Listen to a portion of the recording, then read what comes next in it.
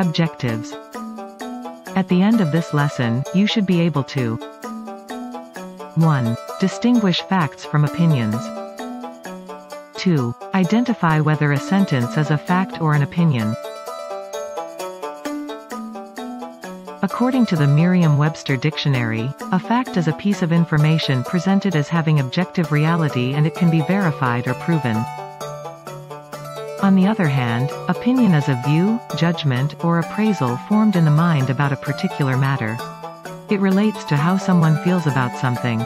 Others may agree or disagree with an opinion, but they cannot prove or disprove it.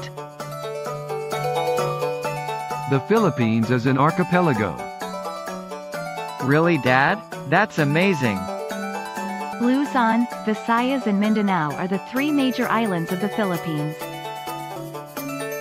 Wow, have you been to all the islands of the Philippines? Which of the islands do you think is the best?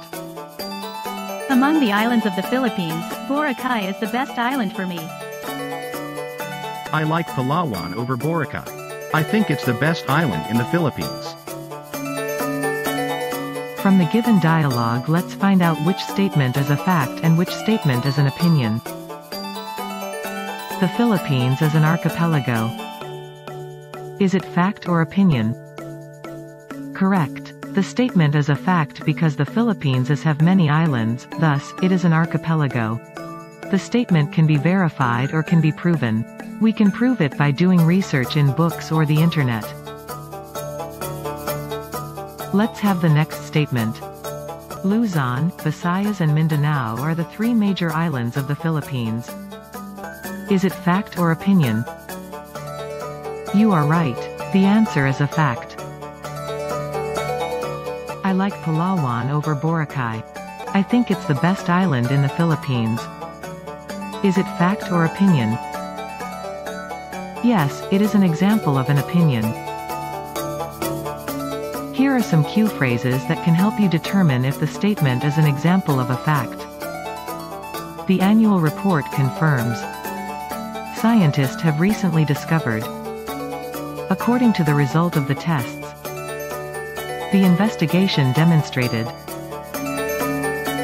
On the other hand, these are some cue phrases that can be used when stating an opinion. He claimed that. It is the officer's view that. The report argues that. Many scientists suspect that. Let's have some exercises. Read each sentence carefully and determine whether it is a fact or an opinion. Fact or opinion? 1. There are seven days in a week.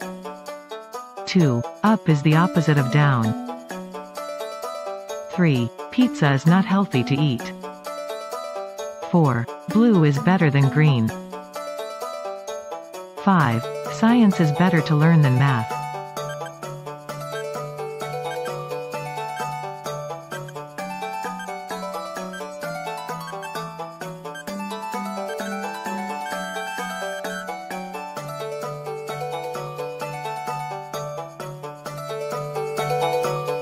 Based on our lesson, the language used to introduce a statement can be helpful in indicating whether it is being framed as a fact or an opinion it is important to understand too that things are not always as they appear to be.